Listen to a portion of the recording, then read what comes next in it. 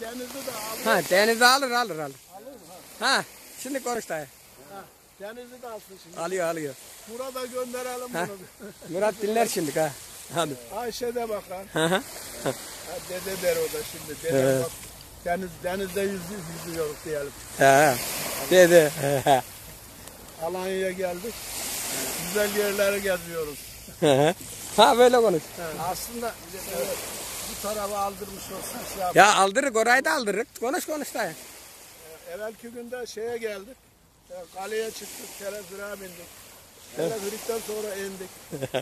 Orada camide tam yukarıda depanın başında camide ikindi namazını falan kıldık.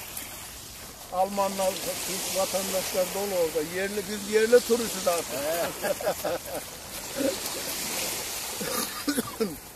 Alanya'yı çok beğendim, çok sevdim. Çok güzel bir yer ha. Tam gezecek yer yani. Güzel yer ya. Ya Aslında hep gezeceksin ya. Bizim Vallahi memleketimizde bak kış millet kışınla uğraşıyor. Evet. Bak Burada burada adam denize giriyor. denize gir, denize hemen. Onun bir tanesi şeyde girmişmiş ya öbür sularda. Evet. Giren olur ya.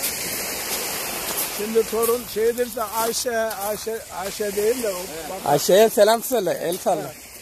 Ayşe kızım denize gel, denize giriyoruz. Şimdi adam Ukrayna'dan ne geliyor oralar dış memleket ya buraları gelince Çukurova gibi zannediyor tamam mı? Dalıyor denize.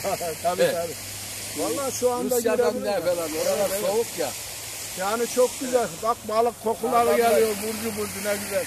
Adamlar Çok şahane bir deniz yani. Ha.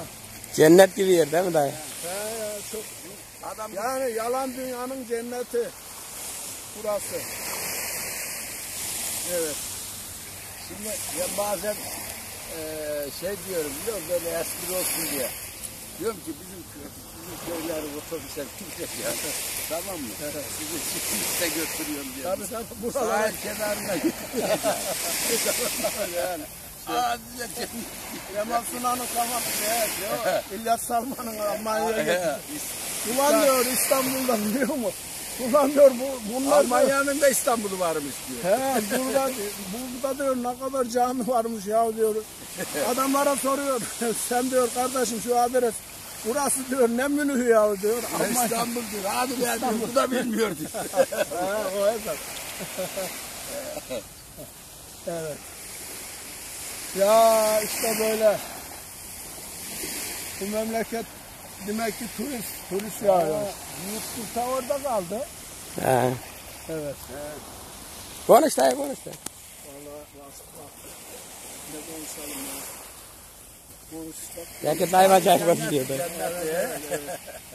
Hakikaten şeyden e, bak işte şeye İzmir'e falan İzmir'i de görmedim. İzmir'e de gittik. İzmir de hoşuma gitti de bak buraların bir şeyi daha değişik. Şey İsmet'in güzel. çalıştığı yerler bu aralarda bir yerdeydi. Biz orada denize girdik. Ya burada, burada